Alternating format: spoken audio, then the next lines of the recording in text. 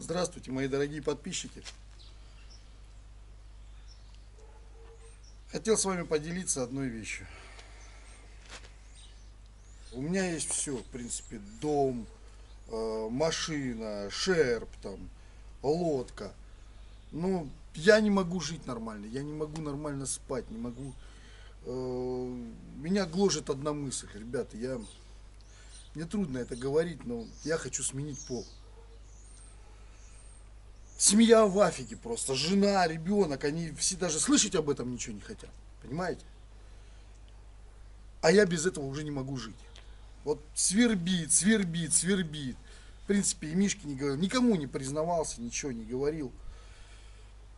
Что делать, я вот просто даже не знаю. Все говорят, ну, дорого это там. Да черту деньги, дорого, недорого. Плевать на них. Там семья в Африке говорит, лучше в отпуск давай съездим. Так я и так в Таиланд поеду, там много кто так делает. Ребят, я у вас хотел вообще спросить совета, понимаете?